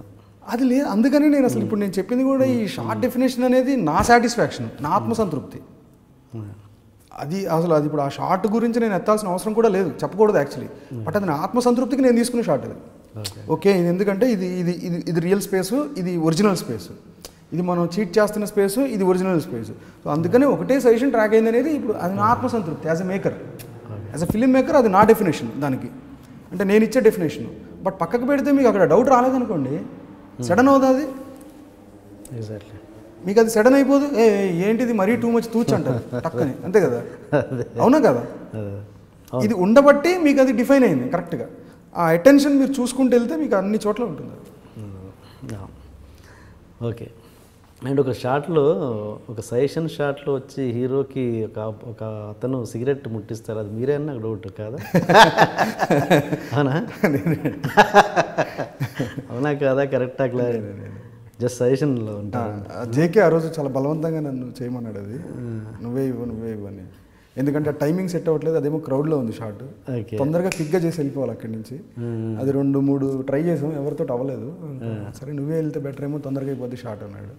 సో నేను అందుకని నాకు చాలా భయం. నేను ఎప్పుడు in front of the camera నేను చాలా వేస్ట్ ఫీల్ చాలా భయం నాకు. అందుకే తెలియకుండా అలా ఫేస్ సైజ్లో పెట్టి చేసి జగకృష్ణుడు క్యారెక్టర్ వేసాడు నాకు అసలు తను కెమెరా అన్న విషయం నాకు తెలియదు ఆ క్యారెక్టర్ చూసి ఓహో మనోడా ఇది కెమెరా ఫ్రెండ్ మంచి ఫ్రెండ్ ప్రొఫెసర్. అవును తెలుసు. తను తను దీని ప్రీవియస్ సినిమా ఏంటి? సినిమాలు నాకు తెలియదు. హిందీ సినిమా చేసాడని తెలుసు నాకు. తెలుగులో తను లాస్ట్ చేసింది అందరి బంధువయ్య అనుకుంటాను ఓకే ఓకే. అందరి బంధువయ్యాన? ఆ, అందరి బంధువే మన శర్వానంద్ ఫిల్మ్ చంద్ర సిద్ధార్థ్ గారు ఓకే ఓకే. అండ్ ఇంకా మీ ఫ్యామిలీ విషయానికి వస్తే ఏంటి మీరు మ్యారీడా ఏంటి నేను మ్యారీడ్ అండి. మ్యారీడ్ పిల్లలు? బాబు కూడా పద్నాలుగు నెలలు ఫోర్టీన్ మంత్స్ ఓకే. ఏంటి మీరు ఇండస్ట్రీకి రాకముందు ఏంటి మీరు? నేను ఇండస్ట్రీకి రాకముందు నేను నాది కొత్తగూడెం అండి బేసిక్గా ఖమ్మం డిస్ట్రిక్ట్. నాది డిగ్రీ వరకు అక్కడే జరిగింది. నేను పీజీ ఎంసీఏ చేయడానికి హైదరాబాద్ వచ్చాను. ఓకే. అంటే డిగ్రీ వరకు కూడా నాకేమీ పెద్ద ఇండస్ట్రీ థాట్స్ అలాంటివి ఏం లేవు ఫస్ట్ నుంచి కూడా. ఓకే. కాకపోతే నాకు ఉద్యోగం అంటే చిన్న భయం. అంటే ఆ జాబ్ నైన్ టు సిక్స్ అనే స్పేస్ ఏదైతే ఉందో అది నాకు చిన్నపిల్లలు దెయ్యం అంటే భయపడతారు కదా. అక్కడ ఏదో బూచి ఉందంటే భయపడతారు. అంత భయం నాకు అది. బట్ ఇప్పుడు డిగ్రీ అయిపోయిన తర్వాత ఇంకేంటి నెక్స్ట్ ఎడ్యుకేషన్ మన కెరియర్ని డిఫైన్ చేసేస్తుంది ఏదైనా. అది మా నాన్నగారు సింగరేణి కాలేజ్ అండి రిటైర్డ్ ఎంప్లాయీ మా మదర్ జ్యుడిషియల్ డిపార్ట్మెంట్లో చేశారు. చాలా మిడిల్ క్లాస్ ఫ్యామిలీ సో ఇంకా అక్కడ భయం వేసి ఏదో చిన్నప్పటి నుంచి కొంచెం రైటింగ్ అలవాటు ఉండేది. ఓకే. సో ఇదేదో బెటర్ స్పేస్ అని చెప్పి వచ్చాను. అలాగే నేను చందు గారి దగ్గర జాయిన్ అయ్యాను. ఇండస్ట్రీకి వచ్చాక పెళ్ళైందా మీకు? మొన్న రీసెంట్ లాస్ట్ టూ థౌజండ్ సిక్స్టీన్లో అయిందండి మ్యారేజ్ నాకు. Okay two thousand sixteen okay okay. Okay. తను డాక్టర్ మ్మ్. ఎక్కడండి? ఇప్పుడు లేదండి ఇప్పుడు బాబుతోటే ఉంది. సో మళ్ళీ ఓకే ఓకే. ఫోర్టీన్ మంత్సే కదా. Okay okay. నేను అసలు ఇంట్లో ఉంటే కుదరదు కదా షూట్స్ అండ్ ఈ సినిమాలో హీరోయిన్గా ఫస్ట్ సాయి పల్లవి కంటే ముందు కొంచెం పెద్ద పెద్ద హీరోయిన్లనే ట్రై చేశారని. అసలు ట్రై అవునా? శర్వా ఏదో మొన్న ఏదో దాంట్లో అంటే నేను అది అది అసలు ఎవరు ట్రై చేయలేదండి. ఫస్ట్ నుంచి సాయి పల్లవి అసలు ఫస్ట్ థాట్ ఫస్ట్ ఇదే Sai Pallavi. Try means at least థాట్లో. అమ్మాయి ఫస్ట్ సాయి పల్లవి గారిని పట్టుకోవడం అంటే ఫోన్లో దొరకడం కొంచెం కష్టమైంది. ఫోర్ డేస్ అలా ట్రై చేస్తుంటే అమ్మాయి ఏదో షూట్లో ఉంటుంది. సో అప్పుడు వచ్చిన ఆప్షన్ నజరియా అనుకున్నాం. అంటే నా మైండ్లో అది ఎవరికి తెలియని కూడా తెలియదు నజరియా చేస్తే అమ్మాయి అప్పటికి మానేసింది మొత్తం అంతా. మ్యారీడ్ అమ్మాయి చేస్తే బాగానే ఉంటుందేమో ఇంకా ఆవిడ సాయి పల్లవి గారు దొరకకపోతే ఆవిడ అనేది ఆప్షన్ బట్ ఫోర్ డేస్ తర్వాత సాయి పల్లవి గారు టచ్లోకి వచ్చారు. దెన్ ఇంకా అక్కడి నుంచి ఒక మ్యారథాన్ అయింది ఆవిడ ఒప్పించడం. ఆవిడ కోయంబత్తూరులో ఫస్ట్ ఇక్కడ ఇక్కడ చెప్పాను ఒకసారి కదా తర్వాత అప్పుడు ఏం మెమరీ అండి బాబు? నేను చెప్పాను కదా as the scene by scene నాకు చెప్పింది అమ్మాయి. మళ్ళీ ఒక టెన్ డేస్ తర్వాత కలిసినప్పుడు. తర్వాత ఇది కదా ఇది తర్వాత ఇది కదా అని. అయ్యే నేను షాక్ అయిపోయాను. అయిపోయి ఇంత order very good content so అలాగా ఫస్ట్ నుంచి తను సాయి పల్లవి అండ్ ఈ సినిమాలో నాకు ఇంకో బాగా నచ్చిన క్యారెక్టర్ శత్రుది. చిన్న క్యారెక్టర్ బయట. అవునా?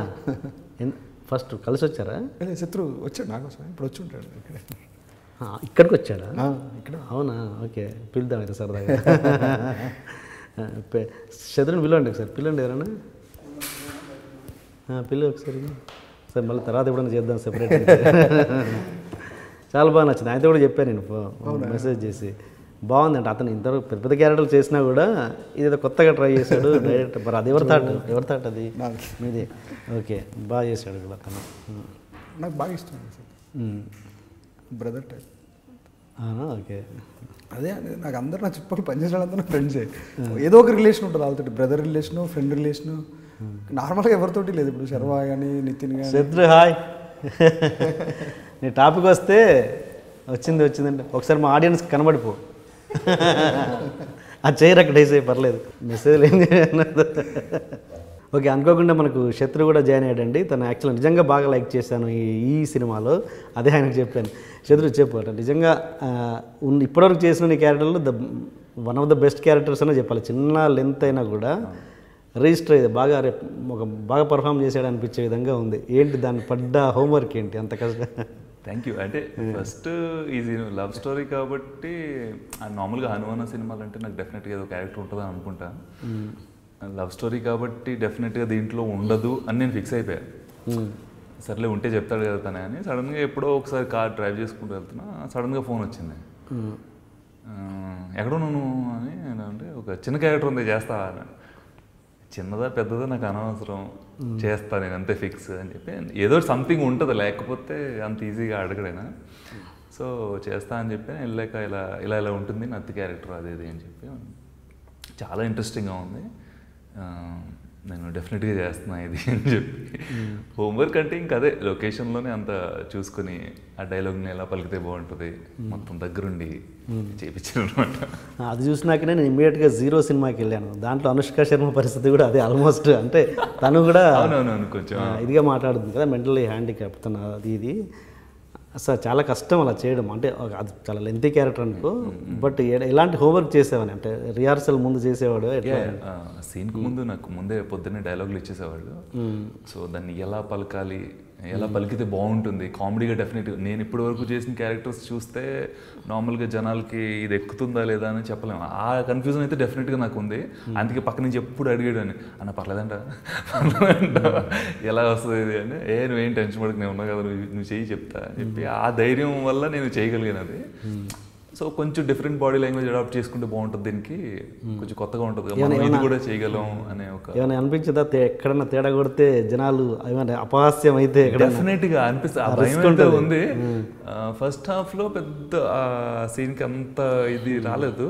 బట్ సెకండ్ హాఫ్లో ఆ సీన్ వచ్చేసరికి నా సీన్ వచ్చేసరికి ఓ నవ్వుతున్నారు జనాలు. I was very happy okay successful అయ్యాం డెఫినెట్గా. డబ్బింగ్లో ఎలాంటి వర్క్ చేసావు? ఎలాంటి హార్డ్ వర్క్ చేసావు? డబ్బింగ్లో అన్ననే మొత్తం దగ్గరుండి. ఈ పదం ఇలా పలికితే బాగుంటుంది. అంటే బేసిక్గా ఏంటంటే ఆ చిన్న కామెడీ టింట్ కావాలి కాబట్టి యాక్చువల్లీ స్మోకింగ్ కార్డ్ కూడా ఆ స్లాంగ్లోనే చెప్పామటి బట్ బాగుండదని తీసారు okay okay okay thank you so much all the best నిజంగా I like it very much thank you thank you so much and ఈ సినిమాలో కొన్ని సింబాలిక్ షార్ట్స్ కూడా నాకు సరిగ్గా గుర్తు రావట్లేదు కానీ కొన్ని గుర్తున్నవి బాగున్నాయి అవి. ఏంటంటే లైక్ ఎగ్జిబిషన్లో ఒక ట్రైన్ వచ్చి హీరో బైక్ ముందు ఆగడం ఆ డైలాగ్లో వాయిస్ ఓవర్లో మూవ్ అనేది హీరోయిన్ వాయిస్ రాగానే బైక్ మూవ్ అవ్వడం. అదే అదే ఎగ్జిబిషన్లో ఉంటుంది. ఎగ్జిబిషనే కదా అది? ఎక్కడండి? ఒక ట్రైన్ ట్రైన్ ట్రైన్ ముందు కరెక్ట్ బైక్ వచ్చి ఆపుతాడు హీరో. శర్వా అందులో అస్సాం ఎగ్జిబిషన్ ట్రైన్ ఉంటుంది కదా. ఎగ్జిబిషన్ అయినా అది నాకు సరే. ఒక ట్రైన్ లాంటిది వచ్చి హీరో బైక్ ఆపుతాడండి. పట్టాల మధ్యనే ఆపుతాడు. ట్రైన్ వచ్చి ఆగుతుంది. కరెక్ట్ మూవ్ అయ్యే టైంలో డైలాగ్లో ఇంకా యూ హ్యావ్ టు మూవ్ అన్నట్టు. అక్కడ నుంచి వెళ్ళిపోతాడు. ట్రామ్ ట్రామ్ ఆ. ట్రైన్ వెళ్ళిపోద్ది. అలాంటివి yeah, బాగా అది ప్లాన్ చేశారు. అది అది దానికి ఎంత ఎన్ని టేకులు తీసుకున్నారంటే అది? అది three takes half an hour తీస్తామండి అది. రోడ్డు మీద కదా. వితౌట్ పర్మిషన్ బైక్ పెట్టి ట్రామ్ వచ్చి ఎగ్జిబిషన్ కాదు మామూలుగా రోడ్ మామూలు మెయిన్ రోడ్ అండి అది. మెయిన్ రోడ్డు అది ఒరిజినల్ ట్రామ్ అది. వెనకాల వచ్చేది. అది దట్టు ఏంటంటే ట్రాకింగ్ జూమ్ బ్యాక్ షాట్ అది. అది గింబల్ మీద తీయాలి. వెరీ టఫ్ సిచ్యువేషన్ ఓకే ఆ టైం డ్యూరేషన్ చూసేసి అది అసలు అది రావడం చేయడం మీకు చెప్పాను ట్రామ్ రోడ్ మీద ఆపడానికి ఉండదు. అంటే ఇక్కడ మిస్ అయిందంటే షార్ట్ అది వెనకాల వచ్చే టైంకి ఇక్కడ పెట్టి తీయాలి. మళ్ళీ ముందరికి వెళ్ళి మళ్ళీ తీయాలి అలాగే. బిట్ ఆఫ్ అదొకటి దాంట్లో చాలా ఉన్నాయండి అలాగే చిన్న చిన్నవి అంటే చిన్న చిన్న నాకు గుర్తు రావట్లేదు అలాంటి షార్ట్స్ చాలా మళ్ళీ కొత్తగా ప్రేమిస్తాను మొదలు పెడతాను అనగానే మళ్ళీ సన్లైట్ ఓపెన్ అవుతుంది. అమ్మాయి దగ్గర. అలాంటి అది చాలా ముందర అలాంటి చాలా సింబాలిజం చాలా ఉంది సినిమాలో. అంటే చాలా సటిల్ ప్లే ఉంటుంది overall and child artist child episode ఉన్నప్పుడు ఫాదర్ కొట్టి వెళ్ళిపోయినప్పుడు పక్కన శర్వా రావటం that's good actual very very nice and ఇంకో సునీల్ క్యారెక్టర్ విషయానికి వస్తే ఈ సినిమా సునీల్ వల్ల ఈ సినిమాకి పెద్దగా యాడ్ అయిందని ఈ యాడ్ అయింది పెద్దగా ఏం లేదు నా ఫీలింగ్ అది. ఈ సునీల్ బదులు ఇంకేదన్నా ఫ్రెష్ క్యారెక్టర్ ఉంటే ఇంకా బాగుండేదేమో అని అనిపించింది నాకు. అంటే యాక్చువల్గా నాకు తెలిసి ఆ క్యారెక్టర్లో సునీల్ గారి వల్ల ప్రాబ్లం కాదండి అది. సునీల్ గారు చేసిన ఇంకొకరు చేసిన మేబీ రిజల్ట్ ఇలాగే ఉండేదేమో. అది ఇట్స్ నాట్ సునీల్ గారి వల్ల వచ్చిన ప్రాబ్లం అయింది ఓకే. అంటే ఆయన అక్కడ అతను పర్ఫార్మెన్స్ వినట్లేదు అక్కడ ఫ్రెష్గా ఏం ఫీల్ అవ్వలేదేమో ఇంకేదైనా వేరే ఆర్టిస్ట్ ఉంటే ఫ్రెష్గా అది ఇద్దరు ముగ్గురు అన్నారండి. అది. బట్ అది యాక్చువల్లీ క్యారెక్టర్ని ఇంకొంచెం బాగా రాసి ఉంటే బాగుండేదేమో ఇన్ఫ్యాక్ట్ అంటే దట్ బ్లేమ్ ఐ షుడ్ నేను తీసుకోవాలి ఆ బ్లేమ్ ఓకే ఓకే ఓకే ఇంకా ఇంకా ఏమైనా చిన్న క్వశ్చన్స్ అన్నీ అయిపోయినాయి. ఇంకా మీరు సినిమా గురించి ఏమైనా మాట్లాడాలంటారు అండ్ ఇంకొకటి మీరు అందాల రాక్షసి సినిమా మధ్యలో యాడ్ అయ్యారు కదా వీళ్ళు సాయి కొర్రపాటి గారు. అవునండి. అవును కదా? సాయి కొర్రపాటి గారు జాయిన్ అయ్యాక మొత్తం క్రెడిట్ అంతా రాజమౌళి గారికి వెళ్ళిందని హనురావు ఇప్పుడు చాలా కొంచెం హర్ట్ అయ్యారని విన్నా. అయ్యో ఆయన ఆయన ఆయన యాడ్ అవ్వకపోతే సినిమా ఇదే నేను four walls four walls creations ఇవన్నీ. క్రియేషన్స్ నాకు అసలు ఆయన క్రెడిట్ మొత్తం నేను ఎంత కష్టపడితే ఆ క్రెడిట్ అంతా ఆయనకి వెళ్ళిందని అలా అదేంటండి ఆయన ఆయన పాపం ప్రొడ్యూసర్ అండి ఆ సినిమాకి ఆయన ప్రొడ్యూసర్గా ఆయన జాయిన్ అయ్యారు. అది అసలు ఆయనే కదా అసలు ఫస్ట్ అసలు అనురాగపూడి ఎవరు అనేది తెలిసింది ఆయన ఆ రోజు మాట్లాడబట్టి. అట్లీస్ట్ ఈ డౌట్ చాలా మంది క్లియర్ అయ్యో అసలు అలాంటి ఏం లేదండి బాబు. ఆయన అసలు ఎక్కడ ఆయన చాలా గ్రేట్ పర్సన్ ఆ రోజే అసలు నేను నథింగ్ ఆయన నా గురించి మాట్లాడదాం అనేది చాలా పెద్ద మ్యాటర్ అప్పుడు. చాలా ప్లస్ అది. అది అసలు నేను ఆయన స్థాయి ఏంటి నా స్థాయి ఏంటి? అసలు టూ మచ్ ఇది. ఇది గ్రేట్ క్రియేషన్ ఇది. బెస్ట్ నిజంగా ఇండస్ట్రీలో ఇలాంటి చాలా పుడతాయి నిజంగా. ఇవన్నీ నిజంగా ఇండస్ట్రీలో కాకి ఎగిరింది అన్న దగ్గర మొదలైతే చివరి నాలుగో వాడి దగ్గరికి వెళ్ళేసరికి ఆవు ఎగురుతుందన్న కూడా నమ్మేస్తారు జనాలు. ఎగిరే ఆవు ఎలా ఎగురుతుందన్న లాజిక్కే లేదు. ఇప్పుడు మొదటి వ్యక్తి అరే కాకి ఎగురుతుంది బిలీవబుల్ ఓకే కాకి ఎగురుతుంది చూడు చూశాను. ఇంకోటి దగ్గరికి వచ్చేసరికి మారిపోద్ది. మూడో వాడి దగ్గరికి వెళ్ళేసరికి ఇంకోటి ఫైనల్గా నాలుగో వాడికి వచ్చేసరికి ఆవు ఎగురుతుంది రా అంటాడు అది కూడా బిలీవ్ చేస్తారు. ఆవు ఎగరటం ఏంటి అన్న లాజిక్ కూడా రాదు ఎవరికి. అంత దారుణంగా ఉండే రూమర్స్ ఇక్కడ నేను చాలా వింటాను నా గురించి కాదు వేరే వాళ్ళ గురించి. అంటే బట్ అది మనకు తెలిసినప్పుడు మన విజ్ఞత దాన్ని ఎంతవరకు బిలీవ్ చేస్తాం ఎంతవరకు నమ్ముతాం అనేది మన విజ్ఞతకు సంబంధించిన విషయం. ఓకే అండి నాదైతే అయిపోయింది. ఇంకేదైనా సినిమా గురించి చెప్పాలంటే పడిపడి లేచే మనసు అనేది యాక్చువల్లీ చాలా హార్ట్ సోల్ అన్ని ఇన్వాల్వ్ చేసి చాలామంది వర్క్ చేసిన ఫిల్మ్ అండి. ఇందులో ఎవరిది ఇప్పుడు నచ్చలేదు నచ్చటం అనేది ఒక ఇండివిజువల్ ఒపీనియన్స్ కే కేజీఎఫ్ అనే సినిమా వల్ల ఏమైనా ఎఫెక్ట్ అయిందా సినిమా? ఐ డోంట్ నో అండి. ఇప్పుడు ఆ సినిమాకి పొటెన్షియల్ ఉంటే ఇంకో దాని వల్ల ఎఫెక్ట్ అయింది ఇంకో దాని వల్ల ఎఫెక్ట్ అవ్వడం ఒకటేసారి ఇన్ని సినిమాలు రిలీజ్ అవ్వడం అనేది డెఫినెట్గా చాలా ఎంతో కొంత జరుగుతూ ఉంటుంది. అది పెద్ద ఇదని నేను అనుకోను.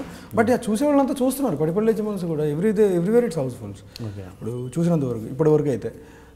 ఇనీషియల్గా డే వన్ ఏంటంటే లాట్ ఆఫ్ ఎక్స్పెక్టేషన్ ఉండింది. అంటే ఫస్ట్ హాఫ్ చూసిన ఎక్స్పెక్టేషన్ తోటి సెకండ్ హాఫ్ ఇప్పుడు ఒక కథ అనేది దాని దాని గ్రాఫ్ దానికి ఉంటుంది. కథ అనుగమనం అనేది దాని దానికి ఉంటుంది.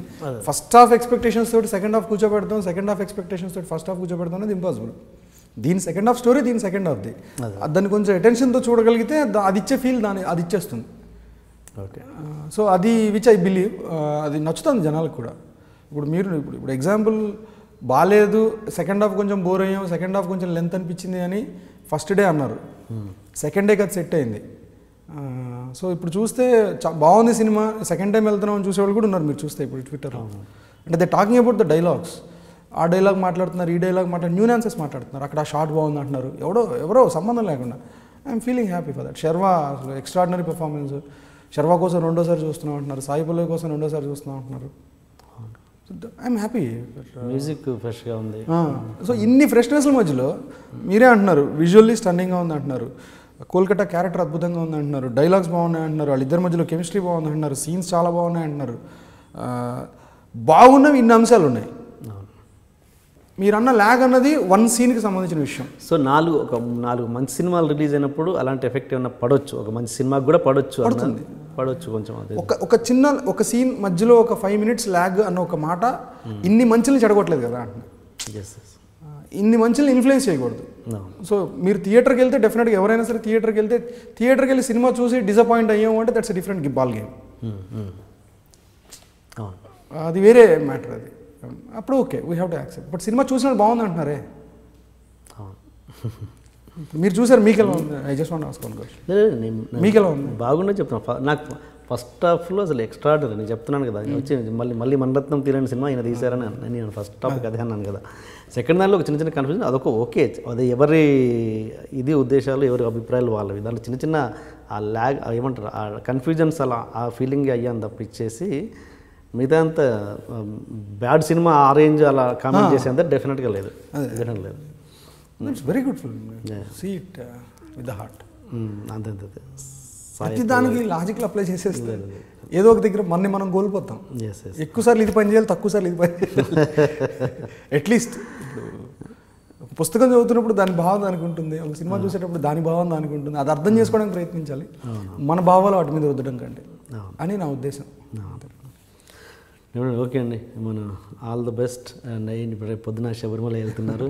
Happy journey and next cinema ఇంకా నెక్స్ట్ సినిమా ఏంటి? ఏదని నెక్స్ట్ సినిమా కూడా లవ్ స్టోరీ అండి. అసలు మీ మీరు స్ట్రాంగ్ దేంట్లో యాక్చువల్గా లవ్ స్టోరీస్ ఏలోనే? అంటే లవ్ స్టోరీస్ అని అందరూ అంటున్నారు. బట్ యాక్చువల్లీ నేను తీయాలనుకున్న సినిమాకి ఇప్పుడు జస్ట్ ఆన్ ద వేలో ఉన్నాను. జర్నీలో ఉన్నాను నేను. In the middle in the middle of the journey okay అలానే అవేవో పెద్ద అవో ఎక్స్ట్రాడినరీ నా మనసుకు నచ్చే సినిమాలు. అంటే నాకు క్రైమ్ చాలా ఇష్టం బాగా తీయగలను నాకు తెలిసి. అంటే ఆల్రెడీ ప్రాజెక్ట్ ఓకే అయిపోయిందా? అప్పుడు నెక్స్ట్ ఓకే హీరో అనేది ఎవరు తెలియదు ఇంకా. ఇప్పుడు చూడాలి ఇప్పుడు వెళ్ళి దానికి లైవ్ తర్వాత మీ స్టేటస్ ఏంటి? ఎగ్జాక్ట్ మీ ఒక- మైండ్ స్టేటస్ ఒక వన్ వీక్ నా మీద నాకు చాలా కోపం వచ్చిన సందర్భం. వన్ వీక్ దగ్గర దగ్గర ఉండింది. ఎవ్రీబడి అందరి పరిస్థితి ఎవరి మీద వాళ్ళ కోపం? ప్రొడ్యూసర్కి వాళ్ళ మీద వాళ్ళ కోపం. నితిన్కి నితిన్ మీద కోపం నాకు నా మీద కోపం. ఎందుకంటే అరే అనవసరంగా లెవెన్త్ అనే దాంతో లాక్ అయ్యామే అని. అది రియలైజేషన్ తర్వాత. అందరిది. ప్రతి ఒక్కరిది ఎందుకంటే లేకపోతే చూసి కరెక్ట్ చేసుకునే అవకాశం ఉండేది. అంటే దీంట్లో ఇక్కడ ఇది మిస్ అయింది లింక్ ఇక్కడ మిస్ అయింది. అసలు ఏం తెలియదు అలా అలా వెళ్ళిపోయింది అంత. అది ఆ రిలీజ్ ప్రెషర్ వల్ల జరిగింది అది. అందరూ రిలీజ్ అయ్యాం అది ఎవరికి వాళ్ళు. సో అది వన్ వీక్ చాలా ఇబ్బంది పడిపోయాను నేను. అంటే చాలా మంచి కాదండి అది. మీరు చదివితే స్టన్నింగ్గా ఉంటుంది. కొన్ని కొన్ని నేను ట్రాన్స్లేట్ చేయలేకపోయా. ఓకే ఆ, అంత కంటిన్యూస్ షూట్లో ఏం ఉండదు కదా. అసలు కనీసం ఒక రోజు కూడా ఇది అవ్వకూడదు ఓకే ఈ సబ్జెక్ట్ పరంగా పక్కన పెట్టేస్తే ఆ ఫ్లాప్ తర్వాత మీ మైండ్ స్టేటస్ అంటే నేను ఏంటంటే మిమ్మల్ని చూసే ఇండస్ట్రీ వాళ్ళు మిమ్మల్ని చూసే తీరు మారింది. అలాంటివి ఏమైనా ఫేస్ చేశారా మీరు? నెక్స్ట్ మీకు డేట్స్ పట్టుకోవడంలో కష్టం? నాకు అసలు ఏమీ అవ్వలేదండి. ఇప్పుడు ఇప్పుడు కూడా నాకేం ప్రాబ్లం లేదు. వేరే హీరోలకు స్టోరీ చెప్పారా? శర్వా కాకుండా? లేదండి నాకు శర్వ నాకు శర్వ సుధాకర్ గారు ప్రొడ్యూసర్ దాని తర్వాత ఇప్పుడు కేవీపీ సో డైరెక్ట్ మీరు ప్రయత్నం చేయకుండానే ఇది వచ్చింది మీరు ప్రయత్నం ఎప్పుడు ఉందండి. ప్రయత్నం అంటే నేను ఇప్పుడు ఏంటి అని స్ట్రగుల్ లేదు అసలు. స్ట్రగుల్ స్ట్రగుల్ ఇప్పుడు కూడా లేదు. వేరే హీరోల దగ్గరికి వెళ్ళి వాళ్ళు రిజెక్ట్ చేయడం లై తర్వాత? అస్సలు. అస్సలు లేదు. లై తర్వాత నితిన్ కూడా రెడీగా ఉన్నాడు ఇమీడియట్గా చేయడానికి ఓకే ఓకే. బట్ నేనే ఇమీడియట్గా వద్దు స్వామి మీరు ఆగండి మళ్ళీ చేద్దాం మనం. నెక్స్ట్ అని చెప్పి నేను అప్పుడు తర్వాత ఇమీడియట్గా నేను సుధాకర్ గారితో అనుకుంటా శర్వాని కలిశాను. శర్వా నాకు ఫిఫ్టీన్ ఇయర్స్ నుంచి ఫ్రెండ్ ఓకే. ఎప్పటి నుంచో అనుకుంటున్నాను చేద్దామని బట్ ఇప్పుడు కుదిరింది మొన్న. లవ్ స్టోరీ చేద్దామని. నేను వేరే కథతో వెళ్ళాను యాక్చువల్లీ ఇది వద్దు స్వామి మొన్న లవ్ స్టోరీ చేద్దామంటే నేను then I started writing Padipalli sir okay. Okay. అది అసలు ఎప్పుడు ఆ స్ట్రగుల్ ఎప్పుడు లేదండి. అది లై తర్వాత నా మీద నాకు కోపం ఉన్న సందర్భం. ఇప్పుడు కూడా నేను ఇప్పుడు నాకు చాలామంది ఫోన్ చేశారు. ప్రొడ్యూసర్స్ చేశారు కొంతమంది హీరోలు చేశారు. ఐ కెనాట్ నేమ్ దెమ్ నాకు నాకు అలాంటి ఒక లవ్ స్టోరీ కావాలి. చేద్దాం మనం.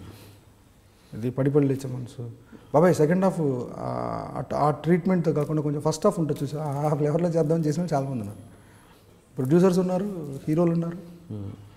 మీరు మామూలుగా ఆడిషన్స్ అంటే ఇష్టపడరంట. ఎందుకు? ఆడిషన్స్ నేను బిలీవ్ చేయనండి అసలు. ఎందుకు? Auditions అన్నదాన్ని. అంటే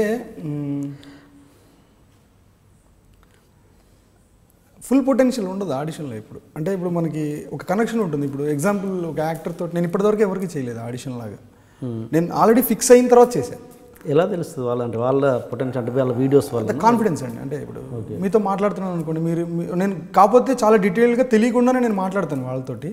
వాళ్ళ కాన్ఫిడెన్స్ ఫుల్ చేయడం నాకు కాన్ఫిడెన్స్ అర్థమైపోయిందంటే కనుక దెన్ వాళ్ళ ఆర్టిస్ట్ కాకపోయినా కూడా మీరు నేను నేను ఇప్పుడు దాకా మీరు చూస్తే నేను వర్క్ చేసినంత కొత్త వాళ్ళతో అండి. ఈవెన్ అందాల రాక్షస్ అయితే అసలు కంప్లీట్ టెక్నీషియన్స్ యాక్టర్లు అందరూ కొత్త వాళ్ళే. అందరికీ డెబ్యూట్ డెబ్యూట్ ఫిల్మ్ అది. But everybody did their extreme అంటే ఆడిషన్స్ మీరు నమ్మరా? నేను నమ్మనండి ఆడిషన్స్. నేను బిలీవ్ చేయను. ఆడిషన్స్ అనేది నేను బిలీవ్ చేయను. ఎందుకంటే దానిలో అది రెస్ట్రిక్టెడ్ ఎన్విరాన్మెంట్ యాక్టర్ని తీసుకెళ్ళి రెస్ట్రిక్టెడ్ ఎన్విరాన్మెంట్లో కూర్చోబెట్టి "ఆ, ఇప్పుడు చెయ్యి నువ్వు ఏం చేస్తావు చూస్తాను. మ్మ్. అని వాళ్ళు చేసిందని అక్కడ జడ్జ్ చేయడానికి వాళ్ళు చేసేది హండ్రెడ్ పర్సెంట్ కాదు. ఆడిషన్స్ అంటే ఫుల్ ఫ్రీడమ్ కదా యాక్చువల్గా అయితే. వాడి ఇష్టానికి చేసుకోవచ్చు కదా. అట్లాంటి ఆడిషన్స్ కాదండి నేను అనేది ఇప్పుడు ఆడిషన్ అట్లా అంటే నేను ఇప్పుడు నేను ఇప్పుడు ఎగ్జాంపుల్ ఒకళ్ళు వాళ్ళు బాగా ప్రిపేర్ అయింది ఎక్స్ట్రాడినరీగా పెర్ఫామ్ చేస్తారు వచ్చి. తర్వాత వేరే తర్వాత వేరే తీస్తే నేను అది చేయను అసలు. అందుకనే. ఇప్పుడు వాళ్ళకి మన నేను ఇప్పుడు ఎగ్జాంపుల్ ఒకటి ఇచ్చామనుకోండి ఏదన్నా. నేను ఫిక్స్ అయిన తర్వాత చేసేది యాక్టర్గా తిని కన్ఫర్మ్ అనుకున్న తర్వాత నేను చేసేది నా సినిమాలో ఒక సీన్ ఇచ్చి చేయమంటాను. అప్పుడు ఆ క్యారెక్టర్ మీటర్ సెట్ చేయడానికి దాన్ని ఒక మూడుకి నాలుగు సార్లు చేయించి ఒక ఈ క్యారెక్టర్ ఈ ట్రీట్మెంట్ తోటి బిహేవ్ చేస్తుందమ్మా. ఇది ఇది ఈ బిహేవియర్ ఇది ఈ సీన్లో ఇలా ఉన్నామంటే ఈ సినిమా మొత్తంలో ఎలా ఉంటుందో నీకు అర్థమైంది కదా అని దీనిలోకి తీసుకొస్తాను. ఇఫ్ ఐ బిలీవ్ హిమ్ తను చేయగలడు అన్న తర్వాత. అంతేగాని తను చేసిన యాక్టింగ్ని బేస్ చేసి మనం దీన్ని తీసుకుందాం అనే ప్రాసెస్ నేను బిలీవ్ చేయను. ఎందుకంటే నాలుగు గోల్డ్ మధ్యలో ఒక కెమెరా పెట్టి నువ్వు ఇప్పుడు ఇక్కడ ఎవరు లేరు నువ్వే ఊహించుకో ఒక అమ్మాయితో మాట్లాడుతున్నావు అని. నువ్వే చెయ్యి అంటే దాంట్లో తను హండ్రెడ్ పర్సెంట్ తన ఎక్కడి నుంచి ఇస్తాడు ఎన్విరాన్మెంట్ లేకుండా చుట్టూ? అంతే కదండి ఇప్పుడు. అది అది అసలు ఇంపాసిబుల్ అసలు అది డాన్స్ చేయడం. అందుకే నేను ఆడిషన్స్ బిలీవ్ చేయను అసలు. అది ఒక పది నిమిషాలు మాట్లాడితే ఒక మనిషితో వచ్చే వైబ్ తెలిసిపోతుంది. అంటే ఓకే మనం చూడగలుగుతున్నామా తిన్ని? తిని చేయగలుగుతాడా లేదా అని ఒక నమ్మకం అంతే కానీ పెద్ద పెద్ద డైరెక్టర్లు ఆడిషన్ చేస్తారే? అది అదే అది ఒక్కొక్కళ్ళు ఒక్కొక్కటి అండి నేను ఇది నా ప్రొసీజర్ ఇప్పుడు ఒక్కొక్కళ్ళు ఒక్కొక్క తీరు. ఇది నా నేను నమ్మను. ఓకే. నేను బిలీవ్ చేయను. ఓకే. అది అది చూస్తే తెలిసిపోద్ది. అంటే వాళ్ళ టింట్ ఏంటి అనేది నేను కంఫర్ట్ అక్కడ. మేబీ నా నేను అక్కడ స్ట్రాంగ్ ఏమో. Okay okay. మీ స్టైల్కి తమిళ్ ఇంకా బాగా వర్కౌట్ అవుతుంది. బైలింగల్ ఎందుకు చేయకూడదు మీరు? ఏమో అండి యాక్చువల్గా ఏమో ట్రై చేయొచ్చాము నెక్స్ట్ ఫిల్మ్ అనుకున్న దాన్ని బట్టి ట్రై చేస్తాం. Okay okay. చాలామంది అన్నారు ఇది. అంటే చేయొచ్చు బైలింగ్ విల్ వర్కౌట్ అవుతుందని. కథ కూడా అలాగే ఉంటుంది నెక్స్ట్ చేయబోయేది. Definitely I try all the best అండి. మీ అసలు మీ అంటే మీ గురించి ఇంకా డీటెయిల్గా నేను స్క్రిప్ట్ సైడ్ నుంచి ప్రతిదీ పిన్ పాయింట్ మిమ్మల్ని ఇంటర్వ్యూ చేయాలనుకున్నాను. బట్ ఈసారి కుదరలేదు. నెక్స్ట్ దానికి ఖచ్చితంగా మనం మంచి ఇంటర్వ్యూ చేద్దాం. నేను సాడ్ అంటే నేను ఇంకా సాటిస్ఫై అవ్వలేదు ఇంటర్వ్యూ ఇంతకీ నా మీద రూమర్స్ అనేవి మీకు క్లియర్ అయ్యేలేదు నాకు అవసరం లేదు. జన జనాల దృష్టిలో అట్లీస్ట్ మీ ద్వారా నేను క్లియర్ అవుతే అది అది చాలా happy. అందుకే ఈ ప్లాట్ఫామ్ అంతకు లేదు. థ్యాంక్ యూ అండి. Thanks and. థ్యాంక్ యూ అండి next project generally I use to watch your and Thank you. Thank you. Happy journey. Thank you. Swami Sharanam. Thank you.